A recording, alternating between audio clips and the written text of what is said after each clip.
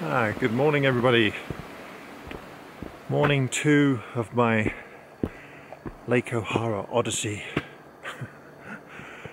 um, now, this morning the it's quite clear out again, and I seem to be working really hard just to get the odd image. I think yesterday I got two images: the one on the overlooking Lake O'Hara and um, and Mary Lake, and. Uh, I got a couple of others, but nothing stellar really. Um, so what I'm going to do this morning is I'm actually in the shade and there's an area just down the trail here, down by this cliff here, called Seven Veils Waterfall. Now I photographed here before and I've had quite a bit of success. Uh, I'm not sure how much water is running right now because it's still pretty cold but I'm hoping there might be a bit of ice or, or something of interest there. Um, I remember last time I was here, because it, it, was sunny like this, so you can see behind me here, this, it's quite sunny, uh, but all that reflected light was going into the waterfall, so it was actually quite nice.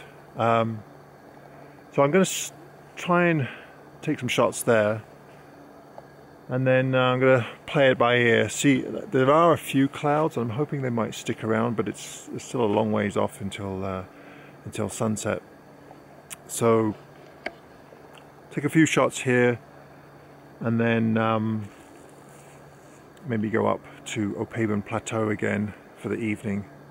Have to see how it goes. It was pretty cold last night. Um, I was quite chilled actually, which is really surprising because my my bag is is uh, my sleeping bag's rated to minus 19 so anyway I was a little bit chilled.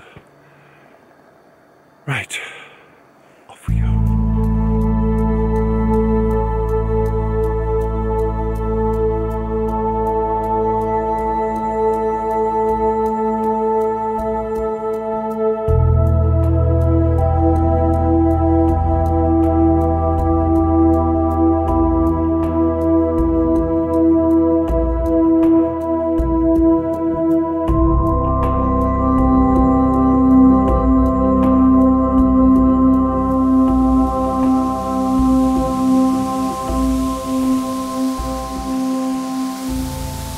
Okay, so this is the Seven Veils waterfall, and as you can see, it's uh, it's quite spectacular.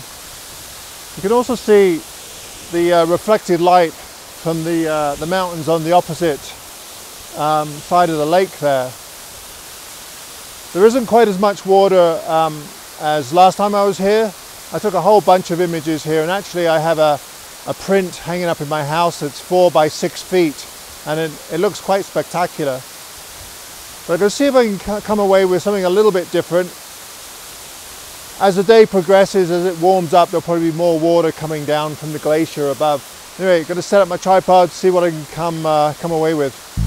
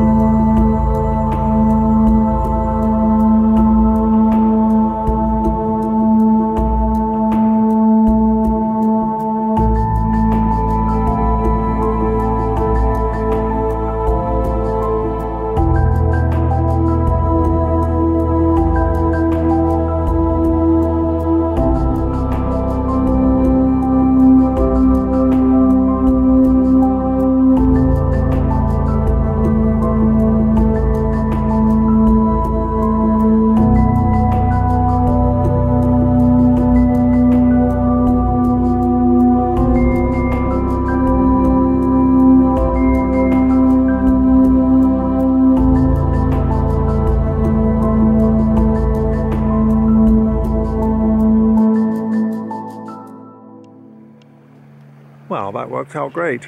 That's a beautiful waterfall. Um, it's kind of unusual because there isn't really a creek. It, it comes right out of the um, the rock pile that's above it. So it's glacial fed, and then it, there's underground streams, and then it just comes right out of the scree slope. So it's kind of unique that way. Um, you can just make it out just here. Also, unfortunately you can't see it with this camera. Uh, there's actually several uh, mountain goats up there grazing around. Uh, they just love it up here because uh, of the steep cliffs and so on. Now I guess I should be careful what I wish for because uh,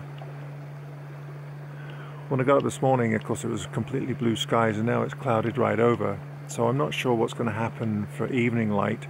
But what I'm going to do is head back to camp and uh, have some lunch and then hang out there for a bit and just keep an eye on the weather. If it doesn't look like there's going to be a sunset, then I might just pack up and uh, start heading back to the car because it's a good 11 kilometer hike back. Um, if it does look promising, then I'll probably hike back up to Opabin Plateau, probably around, uh, I don't know, 5 o'clock or so. And hopefully we'll get another session where we get some uh, really nice light. Last night was, was pretty good. Um, I can't complain. I guess that's what keeps me coming back for more is that possibility or that hope of that really dramatic light. Anyway, back to the camp, have some lunch, and then we'll go from there, right?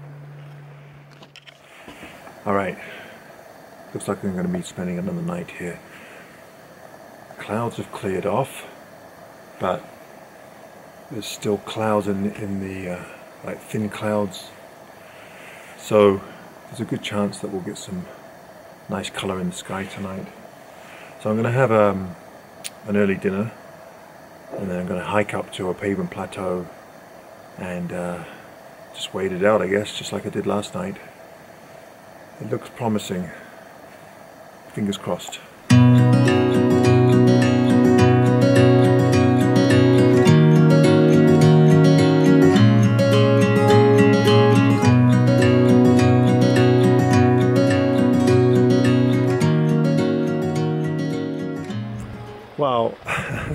Real shame. Of course, as soon as I get up here, the clouds have uh, disappeared.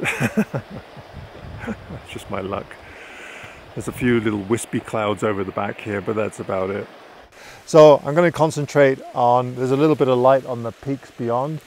So I'm concentrating on the reflection, the warm uh, reflections in the lakes and little ponds here. And uh, I kind of like this boulder here in the foreground. Now I photographed this before many, many years ago. And I always liked the picture. So, of course, you know, you always want to improve on things or think you could improve on things.